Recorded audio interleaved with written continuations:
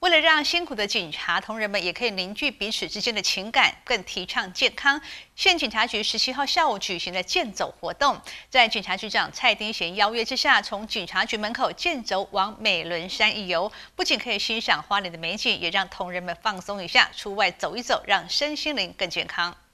十七号的下午三点钟一到，在花莲县警察局局长蔡丁贤的号召之下。邀集县警局的同仁、各分分局局长，还有记者协会的朋友们，在警察局门口来个热身运动，扭扭四肢，伸展筋骨，一个口令一个动作，为了就是把自己身体能够加温，让血液循环能够更加舒畅。花莲县警察局局长陈林贤表示，警察同仁们忙于工作，可以说是相当的辛苦，希望借由健走的活动，联络同仁们之间的情谊，同时也兼具身心灵健康。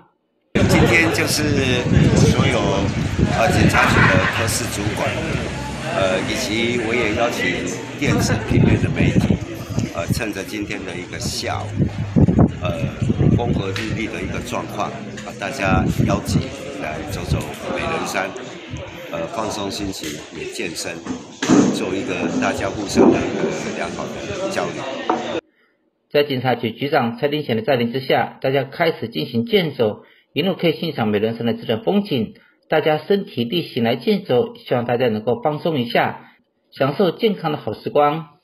接着就话多少？